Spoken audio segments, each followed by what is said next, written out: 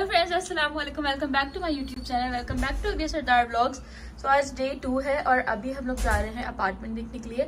अभी होटल में थे लेकिन अब हमें शिफ्ट करना है अपार्टमेंट सो so, मैं तैयार हो चुकी हूँ और चलते हैं अपार्टमेंट देखने के लिए। धूप बहुत तेज़ निकली हुई है गर्मी शदीद वाली है। बाहर चल के पूरा हम नीट एंड क्लीन करके जा रहे हैं। एवरी थिंग इज़ परफेक्ट ताकि पीछे से किसी को आने की ज़रूरत ना पड़े। लेट्स गो आशिफ को बता यहाँ है वो आता है ब्रेक ब्रेक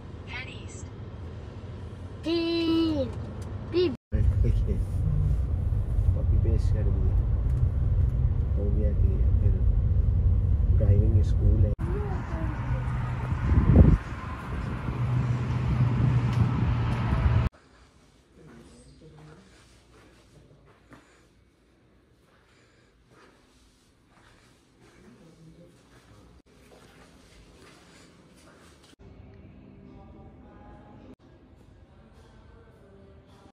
गाइस सीन कुछ ऐसा है कि हमने वो अपार्टमेंट देख लिया था।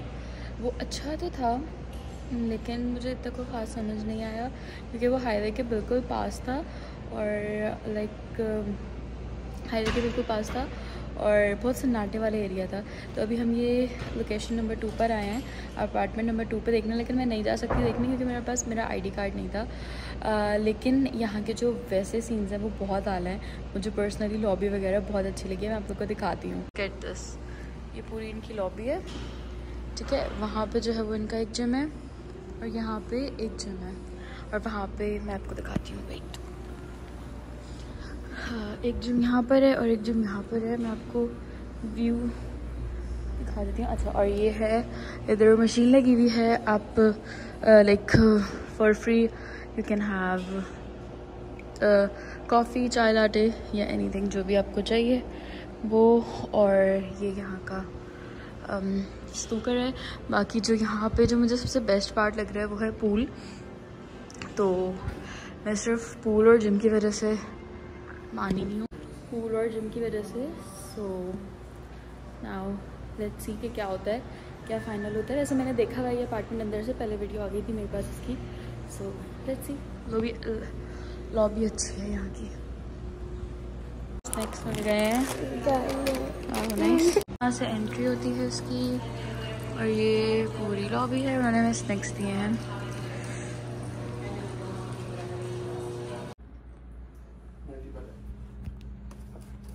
सो फाइनली हम लोग ब्लॉग कंटिन्यू चल रहा है और हम लोग जो है वो अभी अपने अपार्टमेंट में शिफ्ट हो गए। मैं आप लोग अपना अपार्टमेंट दिखाती हूँ पहले। इंटर होते साथ हमारे पास इधर um, थोड़ा सा इधर एरिया बनाया हुआ है जहाँ पे एक गार्बेज बिन भी रखा हुआ है और फिर हमारे पास ये लॉन्ड्री बास्केट भी अभी हमने फ़िलहाल इधर ही रख दिया है और वॉशिंग एरिया आ गया। वॉशिंग एरिया के साथ ही इधर।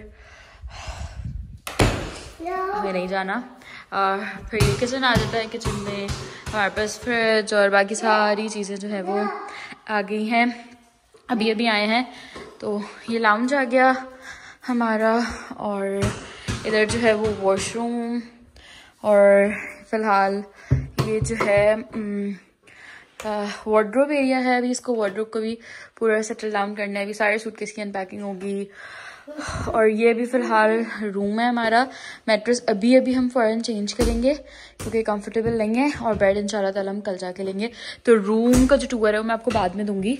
अभी जो है वो मैंने जो शॉपिंग करी है ना, वो मैं दिखाती हूँ। मैंने यहाँ पे बहुत प्यारा सा ये बात सेट लिया था, जो कि मैंने अभी सेट कर दिया है। उस वक्त मैं ब्लॉग शूट करना भूल गई थी। तो उसमें बड़ा क्यूट सा जो है ना ये कर्टन है, फिर इसका जो है वो सेट है पूरा। और ये इधर में। और अभी जो है वो हमें दिखाना है। जो शॉपिंग करी थी ना मैंने आप लोगों को कहा था मैं दिखाऊँगी। तो मैंने शॉपिंग जो करी थी उसमें मैंने लिया था एक ये आ, क्योंकि हम किंग साइज़ बेड लेंगे तो एक उसका पूरा कंफर्टर के साथ सेट था और एक ये रहा। ओके जानू। ठीक है और मैं दिखाती हूँ हमारी शॉपिंग क्या है।